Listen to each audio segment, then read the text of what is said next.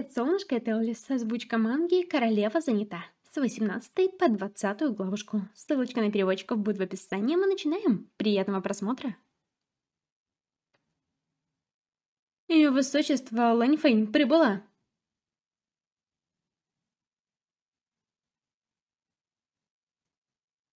Это человек из дворца Санму Цилань.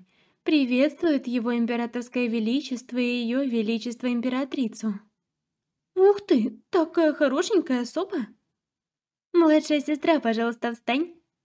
Лань Фэй, начиная с сегодняшнего дня, ты будешь одной из четырех Фэй. Это звание ниже императрицы, но выше других наложниц. Обязательно помни о достоинствах Фэй и уважай императрицу. Позаботься о вещах гарема. Я вас поняла. Моя императрица, у тебя есть еще что спросить? Лань Фэй, у тебя есть родственники во дворце? Это моя первая встреча с тобой после потери памяти, но ты выглядишь очень знакомо. Мой брат, мастер алтаря, Чилонг. Вы знаете Чилонга? Ах, раньше я ходила прогуляться к алтарю, там его и повстречала. Вас интересует алтарь? Ваше Величество, как вы узнали? Недавно во дворце прошел слух, что ты перевоплотилась. Именно Челонг предсказал это. Вы слышали об этом? Смотритель алтаря действительно помог моей репутации. Через два дня во дворце будет праздник, и я позволю тебе встретиться с ним лично. Это здорово.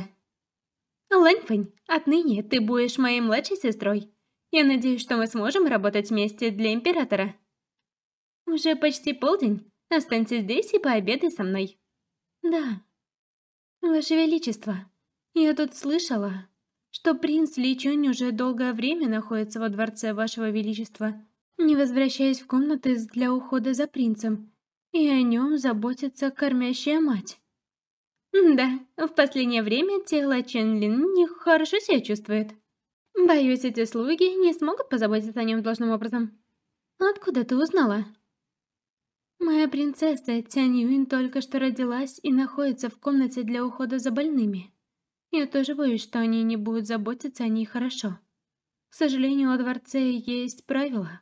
Принцев и принцесс нельзя держать рядом с биологической мамой.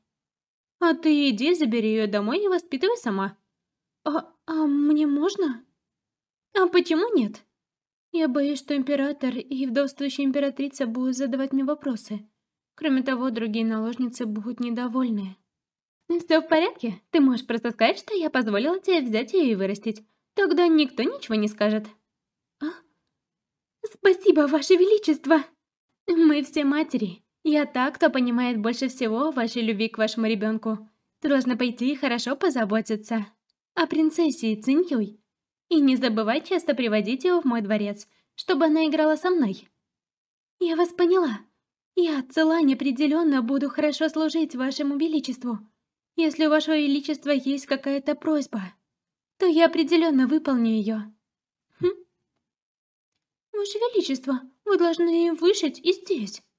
А, ну да, конечно. Как только я пытаюсь сосредоточиться на вышивании, мой мозг отключается. Ах, ваше высочество, что вы говорите? Ваша вышивка одна из лучших во дворце. Ваша работа удивительная. Многие из сувениров, которые вдовствующая императрица хранит в своем дворце, были сделаны вами? Ах, даже так? Тогда я должна усердно учиться. Мне нужно заново освоить этот навык. Я не могу позволить дедушке разочароваться. Это зловещий знак. Ваше Величество! Что случилось? К чему такая спешка? Мэнгуй, Мэнгуй, его поймала Фэн Юй. Что? Дворец Нинью. Прибыла императрица. Приветствую императрицу. Зачем вы пришли, ваше величество? Хм. Фэнзи Юй, по какому праву ты позволила себе наказать моих людей? Этот слуга был в саду на заднем дворе моего дворца. И вот уже несколько дней он тайком ходил туда-сюда. Мне показалось это подозрительным, поэтому я связала его и собиралась допросить, кто бы мог подумать, что он окажется одним из подчиненных императрицы? Поскольку теперь ты знаешь, что он один из моих людей, Отпусти его и отправь обратно во дворец Фэн. Я ничего об этом не знаю. Все, что я знаю, так это то, что... Что-то нашли на теле этого слуги. Ваше Величество, эта вещь не принадлежит этому слуге. Этого слугу несправедливо обвинили. Обвинили? Мой дворец полон людей, которые видели, что эта штука была изъята с твоего предательского тела. Как ты смеешь протестовать? Это ловушка. Прибыл его величество император и ее высочество Сяо Фэй. Приветствую, императора. Приветствую, императрицу. Почему ваше величество тоже здесь? Мы с его величеством случайно зашли повидать сестренку Фан.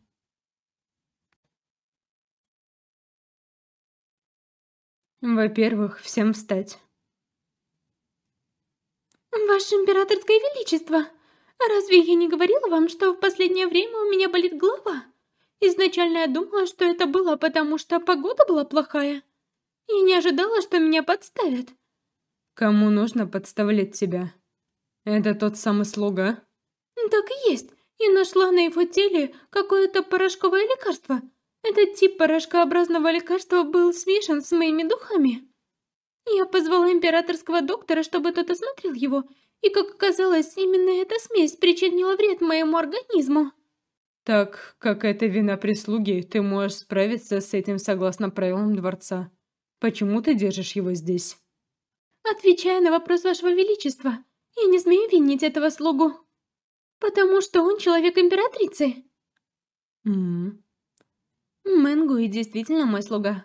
Полмесяца назад я нашла подозрительный мешочек на одежде Ченлина. Внутри был неизвестный цветочный порошок, который, возможно, вызвал у принца плохое самочувствие. Поэтому я отправила его в разные дворцовые сады, чтобы просмотреть, может ли там что-нибудь обнаружиться. Какой цветочный порошок? Это телосма кардата. Внутри мешочка, который носил Чен Лин, было большое количество цветочного порошка, телосма кардата. Я выяснила, что сердцевина телосма кардата ядовита, и особенно ночью, когда она цветет, выделяется большое количество токсичного газа. Это повлияет на рост принца. Однако этот вид цветка долгое время находился вне резиденции Ченлина, поэтому, чтобы усилить эффект аромата, для принца был сделан саше с этим ароматом. Неужели это действительно произошло? Цветок Талос Макардата высажен по всему дворцовому саду. Есть такие комнатные растения, но нередко помещаются внутри дворца. Как в комнатах по уходу за детьми могли оказаться эти цветы? Вчера мы виделись с принцем Ченджи, Жу Джоуи, но мы не видели этого цветка. Возможно, Ваше Величество ошибается. Об этой ситуации я никому больше не рассказывала, а послала Мэнгуэ на разведку. «Ваше Величество, императрица, вы оправдываете этого слугу?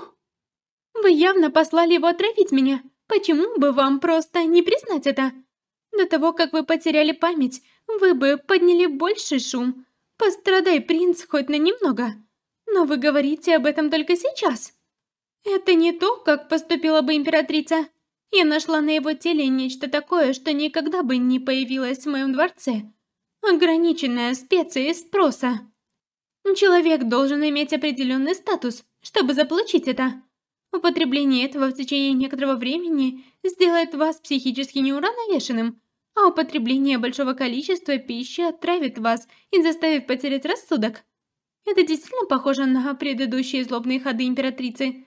В ранние годы жизни Ю Цай случайно съела это и умерла. Затем, как только Ниндзя Юй родила принцессу, она была отравлена. А Лёма и Жень, сразу после того, как забеременела, случайно выпила много красного цветка, и у нее случился выкидыш. Все эти фрукты на сто процентов связаны с императрицей.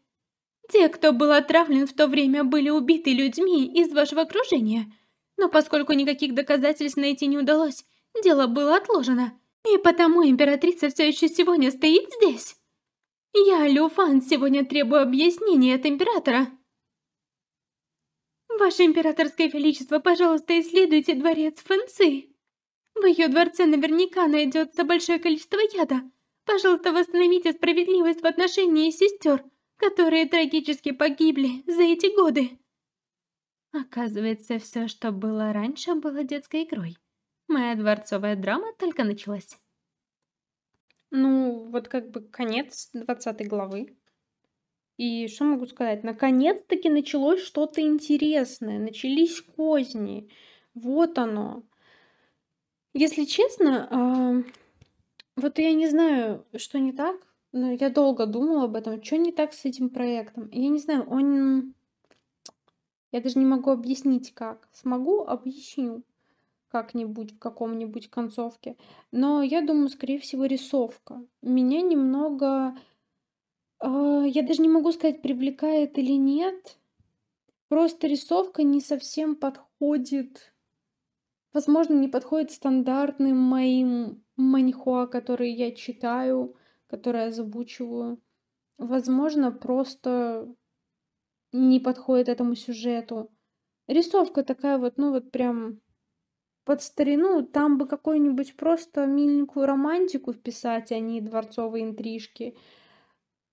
Ну, не знаю, может, дальше я привыкну и будет лучше, но мне пока вот по рисовочке как-то вот не связывается с сюжетом. Не знаю, может, у кого-то еще что-то такое, может, нет. Если да, пишите, если нет, тоже пишите. Пока что всем спасибо за просмотр. Не забывайте подписываться, включать колокольчик. Также писать больше комментариев, чтобы поддержать меня и продвинуть данное видео. В Телеграме много чего интересного. Спасибо за просмотр.